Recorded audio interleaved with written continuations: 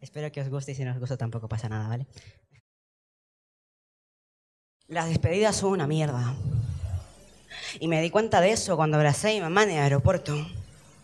Porque cuando pisas suelo que no es tuyo, la gran palabra que es inmigrar puede ser una gran felicidad o volverse en tu contra. Porque cuando dejas tu país, tu tierra, tus costumbres y tu felicidad, no solo los extrañas, también te duele. Porque si no cumples con ciertos requisitos, el sueño y la promesa de un futuro mejor se van por la borda. Inmigrante.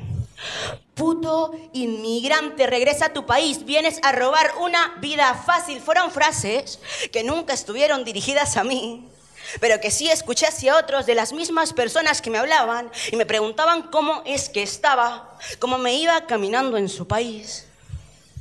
Yo tuve suerte. Suerte porque soy blanco, porque no soy moreno o negro, porque tan peruano no parecía tan decente para ser latinoamericano. Tuve suerte porque pude tomar un avión que mis padres pagaron y no tuve que cruzar las vías en un coche de a 20. Que yo pude cruzar volando el océano en un barco probando el miedo de no llegar vivo a tierra. Tuve suerte porque tomé la decisión de irme. No me trajeron con engaños de algo mejor para luego prostituirme. No me vendieron. No me tuve que ir por miedo a que me mataran, ni mucho menos. Porque mi país se volviera trinchera en un país en guerra. Sí, las despedidas son una mierda. Pero ¿sabes qué es lo, qué lo es más? Que yo me fui y llegué a un hogar. Tuve dinero para poder estudiar y da la casualidad que me trataron genial. No todo el mundo lo tiene. Llegan sin nada. Solo con alegría de seguir vivos un día más, de buscar y de paso que les den una cachetada. ¿Qué me diferencia a mí del resto? Para que haya una gran diferencia entre los que miras mal y yo. Yo sí vengo aquí a estudiar.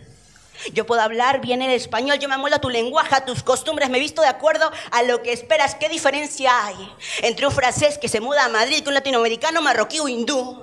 ¿Qué me diferencia a mí para que yo sí sea merecedor de tu respeto, de tu empatía, de tu humanidad y ellos no? Para que ellos sean unos putos inmigrantes que dañan a tu país y yo no, sorpresa. Yo también tengo la palabra inmigrante tatuada en la frente y tú qué llevas prejuicios que se esconden tras el intento de proteger a tu bandera o la esencia básica de tratar al que llega a tu país como si fueras tú el que llegara. Dime, ¿qué me diferencia a mí? Pero más importante, ¿qué te diferencia a ti? Gracias.